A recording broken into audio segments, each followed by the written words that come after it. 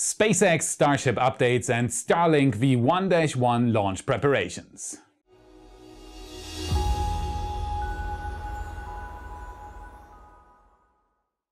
My name is Felix, and I am your host for today's episode of What About It. As you might have noticed, today's episode is way early compared to my normal schedule, as I will be live streaming tonight's Starlink launch.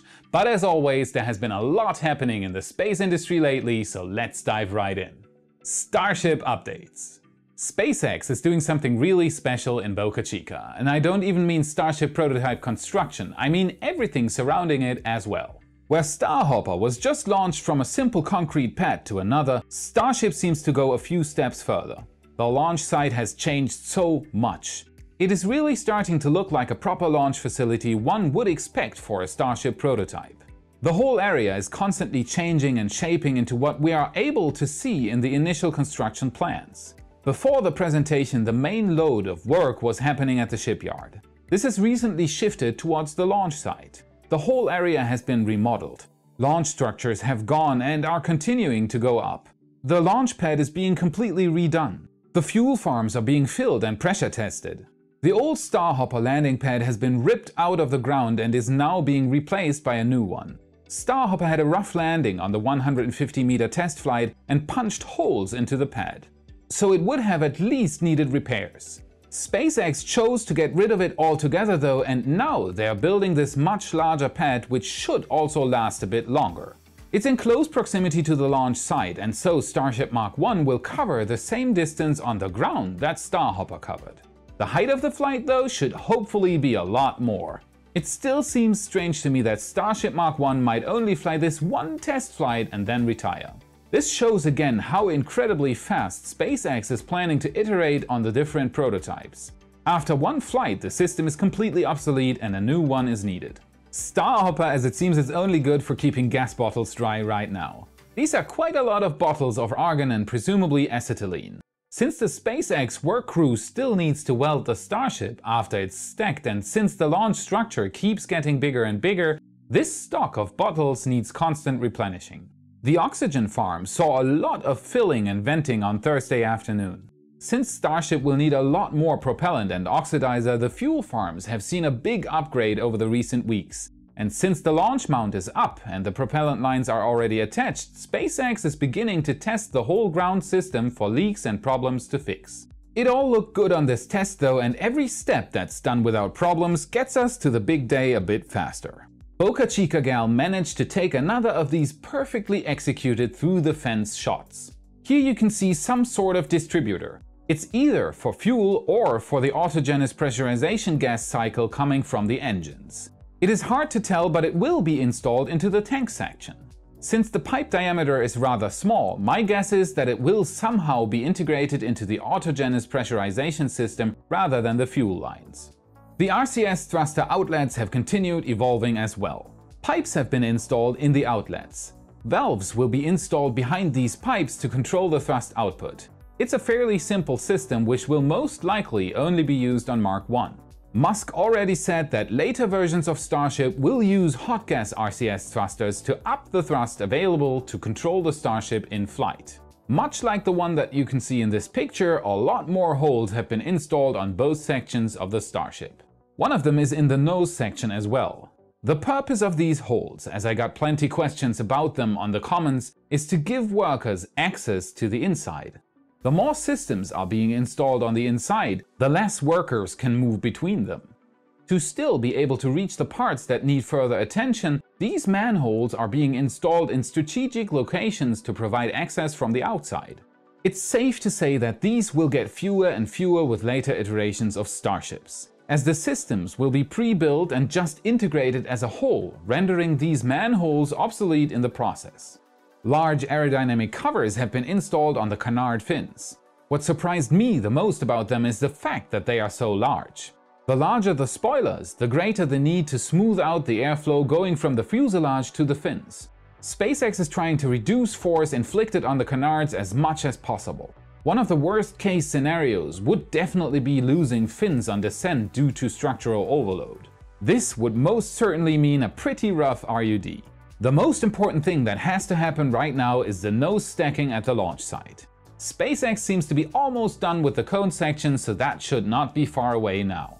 Speaking of far away, we have changes to the test dates. Right now, every time I put one of these updates into my episodes, I just hope that it will still be accurate when the episode is released as these have been changing fast again lately. The latest info is that November 12th has been cancelled again, but we have two new dates, November 13th and 14th. As always, if you liked this update and you want to see more of them, click the like and the subscribe button, it just takes a moment and it helps a lot, thank you. Chances are good that we might see the nose cone being transported from the shipyard to the launch site on one of these two days. Chances are equally good that it might get cancelled and pushed down the line a bit further. So as always, I'll keep you informed.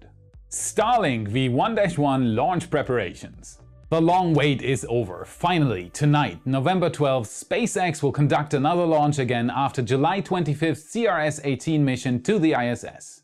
SpaceX has not launched a single rocket since then, so the anticipation from rocket enthusiasts all around the world is very high, considering that this is a very special launch bringing up 60 production-level Starlink satellites into LEO. On the previous Starlink launch, we saw 60 prototypes being sent up for the purpose of testing communications between the satellites. This time it's the real deal. These Starlink satellites are production-level hardware. They will provide service to the ground and lay foundation for the biggest ever undertaken space project in human history. As mentioned before in episode 42, Starlink is not to be underestimated. It's recently been ramped up to have a total of 40,000 satellites when finished. This would bring it to a total weight 22 times that of the ISS. It will provide broadband internet to the whole planet through one network. This shortens connections immensely between two access points, giving a great speed advantage over traditional ground-based or satellite-based connections. Recently, the Air Force conducted tests based on the prototype hardware already in orbit and was very pleased with the results. The Air Force is very much interested in Starlink, as it will be capable of giving every plane on the globe broadband access while in flight.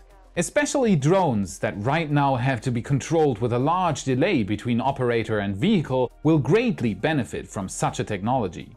Even though I dislike the idea very much that Starlink might be used in combat, the scenario is very much likely to happen and it will give SpaceX yet another stream of income to finance a more peaceful mission to Mars. A static fire of booster B1048 has successfully been completed on November 5th and the booster is awaiting its launch tonight. This will be the fourth launch of this booster, setting yet another record in SpaceX's books for reuse of a single booster.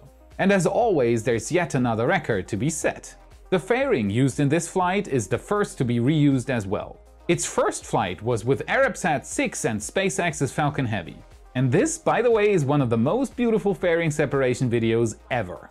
It looks incredible to see the upper stage boost away as the fairing halves get ejected to the sides. Staying on topic of the fairings, SpaceX is planning to set another record on this mission. As if two records wouldn't be enough. The fairings have a good chance of being the first ever fairings to be used thrice after this flight. As SpaceX for the first time sent two fairing catching boats out to the sea in anticipation of the launch. GO Ms. Tree and GO Ms. Chief are both on their way out to the middle of the Atlantic Ocean. If everything goes as planned, the two boats will return in a few days with both fairing halves from tonight's launch. Of course I still love you and GoQuest as usual have a bit of a head start in the convoy towards the LZ. I am very much looking forward to the catch attempt. How often do you think can a fairing be reused? Tell me in the comments. So everything is well underway and of course I will be streaming tonight's launch live. My stream will go online one hour prior to the launch and the launch window is 9.51 to 10.02 am Eastern Standard Time. So get your morning coffee ready for those in the US and for the friends in Australia it's probably already going to be bedtime, the perfect time for some rocket launch viewing. So I hope to see you on tonight's stream for some proper rocket action. So this wraps up today's episode of What About It? What's that distributor for and how often can you reuse a Falcon fairing? As always, tell me in the comments. It's time again to thank the patrons for what they're doing for all of us. It's amazing to see how much support I am receiving and how much more easy this makes the creative process for me and everybody involved creating What About It. Without the patrons, What About It would look a lot different to say the least. So everyone, please give a warm welcome to Sam Lee and Rolf Jacobson, you rock. Thank you for watching this episode of What About It. If you liked what you saw, please don't forget to hit the like and the subscribe button because that helps the most. Feel free to hit me up on my Patreon page so I can get additional help in doing more and better content. As this gives me the time to focus on what I love doing the most, to give you the latest and greatest about space and science. I hope to see you on the next episode. Until then, have a great time. Can interfere. There is a hammer here. Starship is doing something. right. As always, I keep you up informed. Great. A static fire booster. It's, it's a booster especially for static fires, you know. Two carrying fetching carrying fetching boats.